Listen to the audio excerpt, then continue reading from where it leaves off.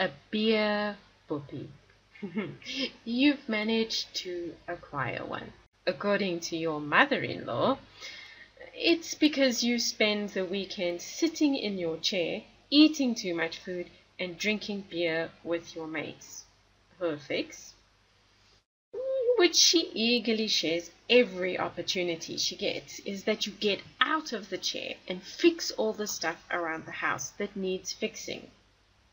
In short, she wants you to eat less and move more. But research from Mount Sinai Medical Center suggests the old girl has got it wrong. No, no, no, no. Stop celebrating. She's right. You do need to fix that beer belly. It's a heart attack waiting to happen. What she's got wrong is the fix. A simple calorie management approach won't work. Your beer belly is not being caused by a calorie problem per se, even if you are eating too much and exercising too little. The problem is rooted in the alcohol. In this episode of Better Body Chemistry TV, we discover why beer drinking on the weekend is making you insulin resistant the rest of the week. Better Body Chemistry TV is brought to you by Dr. Sandy, a scientist turned gremlin buster, helping you battle sugar gremlins, heifer lumps, and other health horribles through better body chemistry. Small things can make a big difference to your health. The discovery that weekend beers cause trouble the rest of the week was made when researchers threw a big party for a group of rats. The lab bash lasted three days. Some of the rats attending the party had an opportunity to get a little tipsy. The rest of the animals indulged in fine food. Okay, it wasn't that fancy. They were fed standard rat chow, but they spent the weekend chomping. The tipsy rats were kept liquored up by the research team, receiving 3 grams per kilogram of alcohol per day. This setup was designed to simulate a weekend of binge drinking.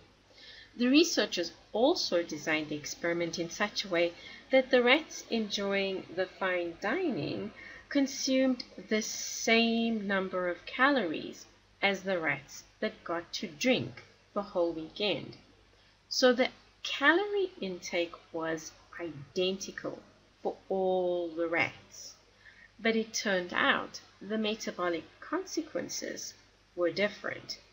When the party was over, and for the purpose of this experiment, the party was over when the alcohol had been cleared from the system, the researchers checked up on the rats' metabolic status, specifically how they were handling their sugars.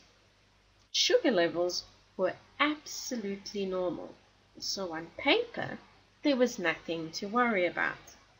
But the rats that had been under the influence all exhibited significantly higher insulin levels in their blood. Now, an increased insulin level is a sign that the animal has become insulin resistant. The insulin resistance that the team observed persisted for 54 hours after the animals had stopped drinking. So the metabolic hangover lasted for just over two days. So what? Well, in a nutshell, for two plus days, the rats were in fat storing mode. So everything that was eaten went into storage. And insulin's preferred storage spot? Hmm, you guessed it, the belly. Explains the beer boepie. It also helps explain why, following a bout of beer drinking, your appetite can become supercharged. there's nothing to burn, so you have to load up on calories just to keep going. Although, let's just clarify. If you overdo it, you may have to wait for the real hangover to pass before your appetite kicks in. A beer belly is not exactly flattering. But the real problem is the insulin resistance. You see, insulin resistance is what causes metabolic syndrome. That means you have high sugar levels, high blood pressure, high cholesterol, high triglycerides. Hmm.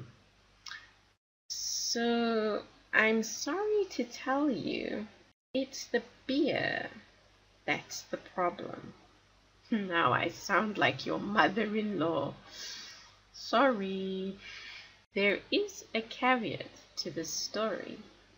The rats were in party mode and they did a lot of drinking over their weekend. A lot.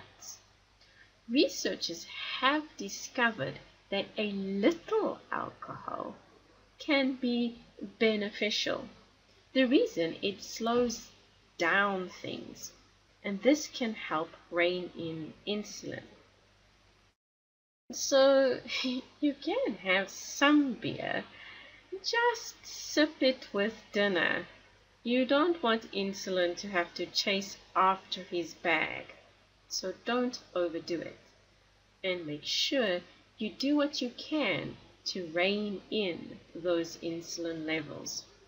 For more tips and advice on keeping your insulin in check, visit the Better Body Chemistry website at www.betterbodychemistry.com. Browse our library. Sign up for one of our free e-courses. The advice is simple to follow and based on real science, not hype. Got friends or family sporting a beer belly? Nagging won't help, but a little education might. So spread the word by sharing this video and be sure to subscribe to our channel to learn how to create better body chemistry and better health. Thank you so much for watching and I'll see you next time. Remember, small things can make a big difference to your health.